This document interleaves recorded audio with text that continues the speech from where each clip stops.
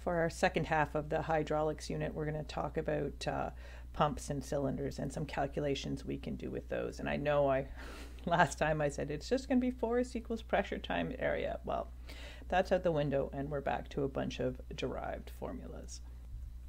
When we use hydraulic pumps, we are considering what they can do for us. So we need them to be able to get up to speeds that can deliver a certain pressure that will be enough for whatever job we uh, we require. Um, when we rate a hydraulic pump, pump we uh, we talk about its flow, how many gallons it can move per minute, and you'll see that capital GPM everywhere now, and how much pressure it can deliver. That depends on the load you're asking of it. There are lots of different types of hydraulic pumps. Three main ones are the gear pump, where you're going to take two gears and uh, not fully tightly in mesh or uh, and they're going to actually they will be in mesh and they'll transfer um, fluid around the out so when they um, as they turn they draw in the fluid so they create that vacuum and draw in your fluid and then they move it around the outside of the case and uh, send it out the other end. I have a slide coming up that shows it. We have a vane pump where it creates uh, pressure for the intake so you always have to have that kind of suction created so you can draw the fluid in and then it moves it around using vanes that kind of come in and out of a central housing. Um, and the one we're going to talk mainly about because we like pistons is the piston pump. So we'll look at a single acting pump and a double acting pump and things that we can do with that. All right, so here are my three pumps I just mentioned. Hopefully they are spinning for you. There we go. All right, so our first one up here, we have our gear pump. So you can see the fluid is being drawn in like this in either direction and it's just being moved around the outside and then sent on its way. Okay, so varying the speed of those gears will change how fast you're moving that fluid through and you're good to go. Looking at the second one, the uh, vane pump here, it's kind of a weird one. So you can see these vanes in the middle are moving in and out of some housing and when they um, they move out they create that kind of vacuum to draw the fluid in send it around and out the discharge. Our big one right here that we're going to use this looks really familiar a piston pump. So on this extension so getting used to extension meaning like an intake stroke I guess I should put a wiggle, approximately equal to the intake stroke for our thoughts, right? So on extension, you're drawing that fluid in with that suction motion, and then you have your contraction, which is kind of like compression, at least they're both C words. And as you compress, you push that fluid out a discharge or outlet port. So the big question is where do we use these hydraulic pumps on our vehicles? In a car, you might see them. Um, you can have a hydraulic brake booster, although the vacuum ones are still the most common. But if you have a diesel, it's hard to get those high vacuum levels, so you might use a hydraulic brake booster instead. If you have some modification, your little low rider messing with your suspension, you might be using a hydraulic pump there as well. Primarily, where you see these hydraulic pumps are in the truck and coach applications, a heavy duty application. So, if you have a tractor and you've got a PTO shaft, the power takeoff shaft running from your transmission, you're going to run a pump. So, it's going to have that kind of single action pump, and you could use that for any kind of agricultural application. Um, all those dump trucks, anything that lifts or winches or squishes or does anything like that and happens to be a vehicle as well, they're probably running hydraulics off the transmission. Starting to get into the math for this course because we know pistons, we're just going to look at the piston pumps. Um, the main thing or first thing you want to think about is displacement. So displacement is the same as it is when you're thinking about an engine. You're going to find the swept volume, of the cylinder and you're going to multiply that by the number of cylinders. So it could be one, it could be something totally strange like nine or three. That's totally fine. Um, and what that will do will give you the volume of fluid that you can move in one revolution of the pump. So each cylinder in that pump will go in and out one time in one revolution. So the other thing, we're going to mention this right on the next page as well. For all the formulas coming up, you want your displacement to be in cubic inches, which means your swept volume should be found in cubic inches. So our first formula is to figure out your pump flow rate. So we're going to take the displacement in cubic inches and multiply it by the engine speed, whatever speed I'm asking about the flow rate at, and divide it by 231, which is just a conversion to get from cubic inches to gallons. That flow rate will be in gallons per minute. Okay, so that's all we have to do to figure out a particular flow rate. As always, we'll start with a couple of easy math questions. The first one, they just want a displacement, so we know how to do this. It's four cylinder. This is just like finding an engine displacement. First thing I need to find is the swept volume, which is going to be pi r squared h, which is going to be 3.14. I take my bore and divide it by 2 in order to find that radius, and then I square it, and then I, oh, bonus, multiply it by the height or the stroke, and we're going to get a swept volume of about 0.478 cubic inches. And that's what I want to be in. If I want the displacement, I multiply that by the four cylinders in the pump, and I get 1.91 cubic inches. So that's the displacement for that pump. All right, looking at number two, find the flow rate. I know that flow rate is now equal to displacement times the speed divided by 231 for a gallon conversion. And in this one, nothing charm too crazy either. The displacement's already given to me, so I don't have to massage anything. It's even given to me in the right units. So I'll take it. RPM is 2000. 231 is given, and then we're going to get about 11.1 gallons per minute. And here's one that start to finish with the flow rating question. So what do we need to find? We've got some information, some dimensions. So we know we're starting with swept volume, going to displacement, then to flow rate. So swept volume, once again, is pi r squared h, 3.14. The bore is 0.5. I need to find the radius, so I divide that by 2. I square it, and I multiply by the stroke, which is the height of my cylinder. There we go, and that will give me 0.157 cubic inches. I'm going to take that and multiply it by the number of cylinders to find the displacement. There's only two. 0.314 cubic inches. I'm going to take that and head over to the flow rating, which is displacement multiplied by speed, pump speed, divided by 231. And that's going to give you 2.99, so approximately 3 gallons per minute. So the hydraulic cylinders I was visualizing before, I would, would have thought of as single acting. You'll notice that original GIF we had going uh, had a little crankshaft and that was spinning it. So the um, contraction was powered by the crank and the extension was powered by something else or vice versa, right? So only one direction are you having the fluid work. Otherwise you have to kind of force it back the other way. So when you have a double acting hydraulic cylinder, both the extension and the contraction are caused by the fluid. So in this case, you don't need a crankshaft and all that, but you need to have a pretty fancy switch and some crazy stuff happening in the pump.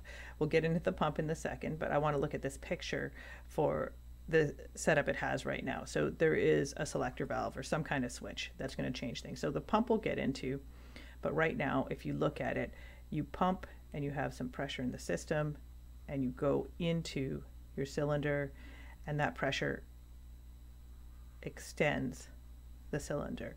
As you're doing that, there's also fluid on the other side of the piston, which is being forced back along the blue path in to the reservoir.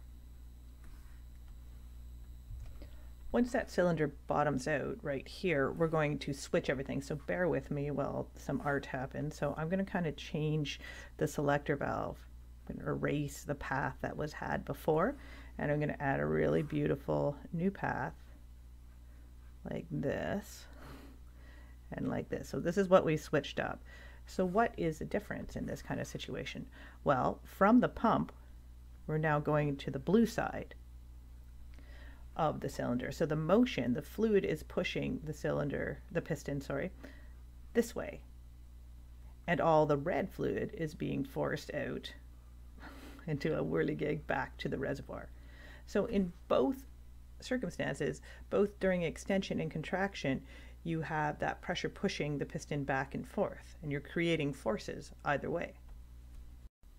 Here's another GIF for us, and hopefully I get this guy going right now. Okay, there we go. All right, I, kept saying we're going to get into the pump, but I meant we're going to look more closely at the cylinder. Sorry, my bad, I was lying. All right, here we go. So a lot of motion going on.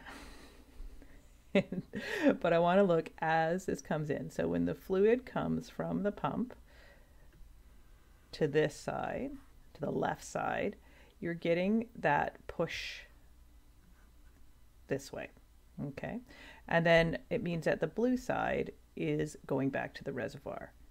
When the fluid is coming in the other direction from the blue side over to the gold side, let's call it, the push is the other way during the contraction. You'll see I've changed the name. They had retraction. I prefer contraction.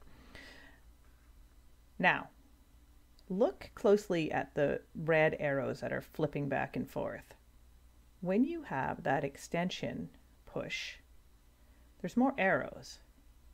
How come? Well, there's a rod in play on the contraction. It's taking up some of the area that you can push on. So what do I expect to see? The pressure would be the same either side, but the area when I'm contracting is smaller by subtracting the area of the rod.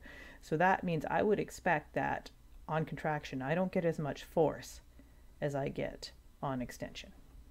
If we want to do math for this kind of situation where we have this dual acting or double action uh, cylinder, we're going to have to consider math for extension separately than math for, for contraction. And that's because they're going to have different areas exposed to the system pressure. So the easy one is extending. So a little bit of remembering here.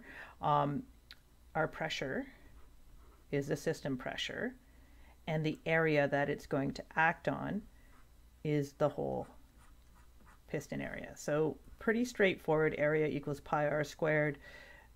This is the bore. You're going to do everything you've always done to find the area of that piston face for an extending force. And our force will be in pounds just like it was on the last hydraulic slideshow. When we are contracting, our pressure is forcing the piston this way. And the problem is we have this ram area or where the rod, the piston rod, is attached to the backside, what we would consider normally to be the underside backside of the piston. So because of that, when I look face on, so if I take this thing here and look face on, my area is the shaded area. Like I'm not acting, I'm not applying pressure, effective pressure to this part. So I need to kind of cut it out. I've done some beautiful illustrations for you here on the side. I pre-drew them because they're so good. So here's extending, right? You get that entire area.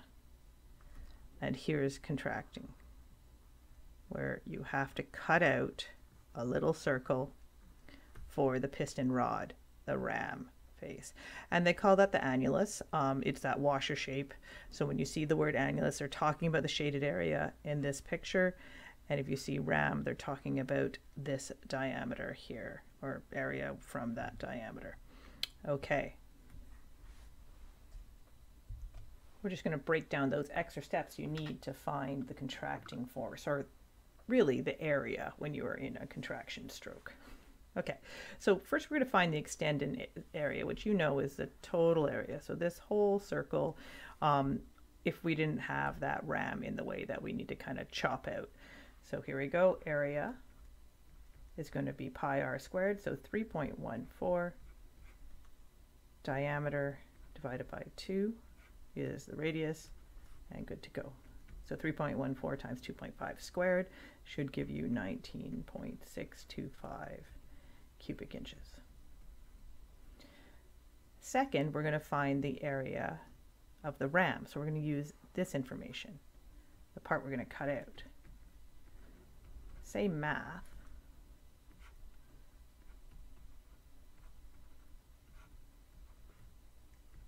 And that will give me 1.766 inches cubed.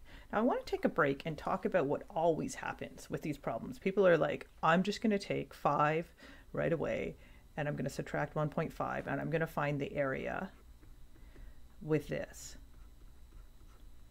And that would be 3.5 divided by 2 squared. So I'm just going to write this down.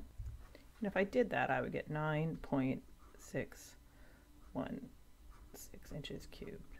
And I'm just going to put a big not equal to and a no. So we know that if we look at that later.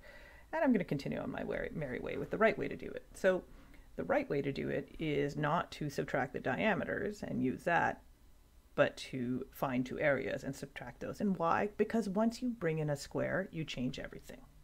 Okay, it messes stuff up. So the area of the annulus, or that washer shape, the shaded area, 19.625, subtract the part we got to cut out, and it will give us a shaded area of 17.859 cubic inches, which is certainly not the same as what we did up here. Once we have that, we're golden. We've got an area. I didn't give you a pressure, but say I told you that the pressure was 1,000 psi.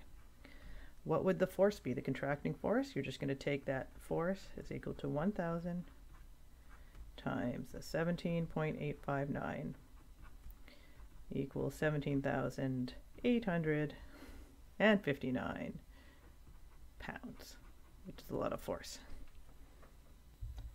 Do a little more practice before we do the last topic here. We've got a backhoe with a hydraulic cylinder, and it's got this kind of situation going where the cylinder has a 12 inch diameter and it has a ram or a rod with a 6 inch diameter.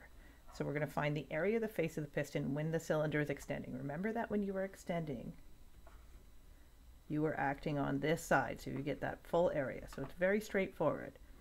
Area equals pi r squared h, no, pi r squared, sorry, I'm doing volume apparently. Uh, so we're going to take pi, multiply it by the bore, the cylinder bore divided by 2 to get a radius, and we're going to get 113.04 cubic inches. Now, the area of the annulus used when the cylinder is contracting. So we're in this situation. Oops, we don't want to color that in because we're not going to use that. We're going to be pushing on this side. Okay, so we got to subtract that ram area. We've already got the full area, so I just need to find the area of the ram by using 3.14, the ram diameter divided by 2 squared, and I get 28.26 cubic inches. So the annulus, that washer shape, the shaded area, is going to be 113.04 subtract the ram area and it's going to give us 84.78 cubic inches. Okay, so if the system pressure is given to us at 1500 psi, what are the forces during extension and contraction? Well, let's start with extension. The force during extension is the pressure times the area during extension, which is at 113. So we have 1500 psi times 113.04. It's going to give us a massive 169,560 pounds of force. That's impressive. All right. How about our force when we're contracting? It's going to be the pressure, same pressure, but we're going to have the area when we're contracting, which is the same as the annulus area. And we're going to have that 1500 and multiply it by 84.78 to get a little bit smaller force because we didn't get to put that pressure on the entire area because of the ram. And there's our answer. So be very careful when you read these questions, what they're asking for, and make sure you're answering the right thing. The last thing we're going to figure out how to calculate is the ram speed. So that's the actuating speed. So what they mean by that, it's just a general term. It doesn't mean just a contracting speed. They use it for both the speed of extension and the speed of contraction for your uh, dual action cylinder. Um, you're going to report this in inches per second. So just remember that. That's what you're getting. So you might have to do two calculations depending on whether I'm asking you for both extension and contraction or just one.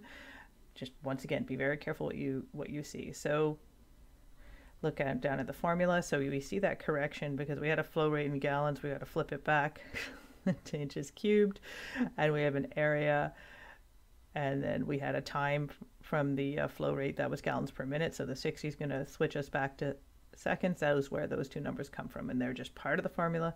Just bear with it. So when we look at this, what do we see? The flow rate is going to be the flow rate no matter what. What could change? The area could change. So on contraction, when we have a smaller area, the bottom of the fraction will be smaller. So I would expect that we're going to have a faster speed on contraction. Likewise, if you were doing extension and you had that bigger piston area, you're going to move a little slower because you have a bigger denominator when you do your division. So interesting. So here's a question. We want to know about the speed. We want to know, watch out, which speed changes your area, right? It changes that, uh, that face area. So we want to know extending speed. So we know we're using this whole thing. So we're going to have to, for that formula, use an area. So we might as well find the area. Use the whole area. So we're going to take 4 divided by 2 and square it, which is still just 4. And we get 12.56 cubic inches. Okay, our speed, our RAM speed formula was the, gotta remember it, the flow rate, which is 4 GPM, multiplied by 231 divided by the area we just found, 12.56 times 60. All right, if you're going to do this, make sure you do it right. Don't do 4 times 2 to 31 divided by 12.56 and then hit times 60. Order of operations. Do everything on top first if you need to, if you're not going to catch it, and then do everything on the bottom.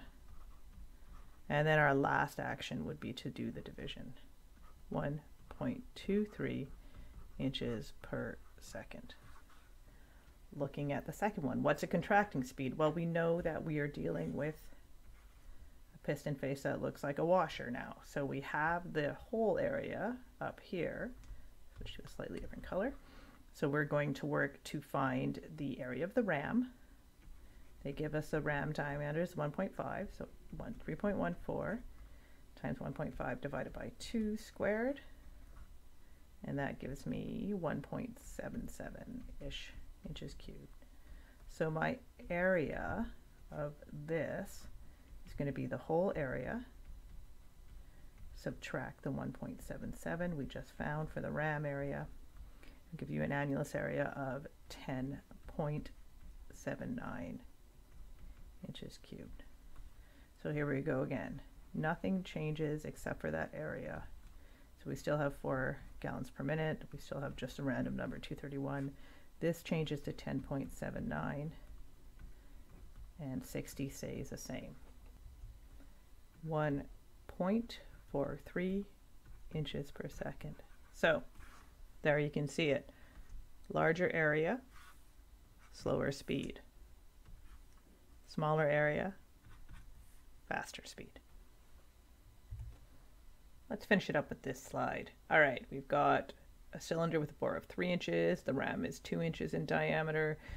We've got a flow rate of 5 GPM, and the pump is rated at 800 PSI. Let's start with the force. we'll need the pressure and we'll need an area. Extending force uses the entire system. So we're going to take area is pi times 3 divided by 2 squared. And that's going to give me 7.065 cubic inches. Now, they wanted a force. Force is pressure times area. So I just take the area I just found and multiply it by a pressure of 800. And that should give me a force of 5,652 pounds. Next, we're going to go over to the contracting force. What do I expect? I expect it to be smaller. There's less of an area applied. So the area of the ram comes into play because I need to find the area that is not of the ram. Okay, so 3.14 over times 1 squared, that's nice, equals 3.14 cubic inches. The area of the annulus, which is what I need, the washer, it's going to be 7.065 minus 3.14 and that will give me 3.925 cubic inches. That goes into my force calculation. Pressure is the same, 800 multiplied by 3.925, and that will give me significantly less force, 3,000 and change. Extension speed. Do we have everything we need? Yeah, because we found the areas already. That's nice. So let's go to purple. Extension speed, I'm also going to have to bring into play the 5. Okay, so speed is equal to, remember this is all on your formula sheet, please don't memorize these. and please don't search around for them, just use your formula sheet. Okay, speed is equal to the flow rate multiplied by 231 divided by the area. So if we're talking extension, we're using, make sure everything matches up, the 7.065 is the extending area, and times 60. When you do all that math, 2.72 inches per second. What do I expect for D? I expect it to be faster, smaller area. So the speed for D, still 5 times 231. Should put a dividing sign like that because I've run out of room. 3.925 is the area I want to use there, and the 60. And when I do that math, 4.90 inches per second. Ta-da! All done. So a lot of confusing formulas, a lot of confusing words. Just make sure you have good references and you uh, like have a good solved example with you and you should be fine.